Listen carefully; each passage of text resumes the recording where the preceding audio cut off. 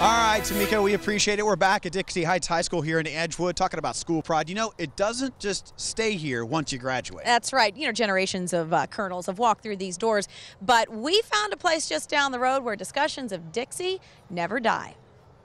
Daryl Newton has been at Sparrow Newton's barbershop in Fort Wright for 51 years.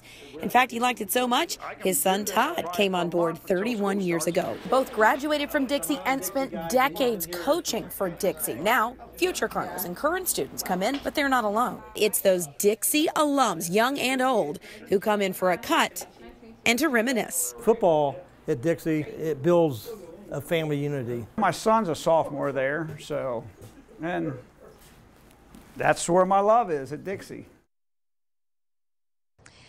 And, and, the Newtons know better than anybody. Todd will be in, on the field here tonight as Dixie gets ready for the first home game of the season against Scott. That's right. All the tri-state is playing football. Ohio, this is week two for Kentucky and Indiana. And 9 On Your Side has more resources thrown to you, the frenzy, so to speak, on Friday nights. That includes Chopper 9, and it also means sports director John Popovich and Mike Dyer, who break down the big games from this week.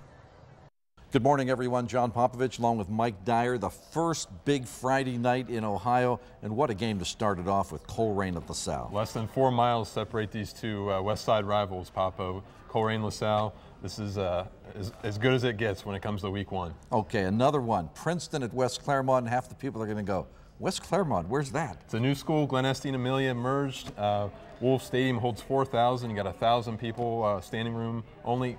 Princeton, new coach Mike Daniels ton of energy over there. And number three, it's GL, GCL against GMC. It's Elder against Lakota West. Elder and Lakota West at Princeton. This was a game that was moved from Nippert Stadium. Uh, Elder wants to uh, bounce back from their playoff loss against Mason, and Lakota West wants to bounce back from a 2 and 8 record last season. It's going to be a great game. All three are going to be good ones. You could catch all the highlights of all three games on the Friday Football Frenzy at 11:15.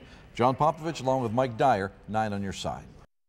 Well, I could tell you, Catherine, the frenzy kind of is starting here, Dixie Heights, this morning. When you get these musicians up this early, we got to listen to them one more time, right. right? All right, let's hear from the Dixie Marching Band.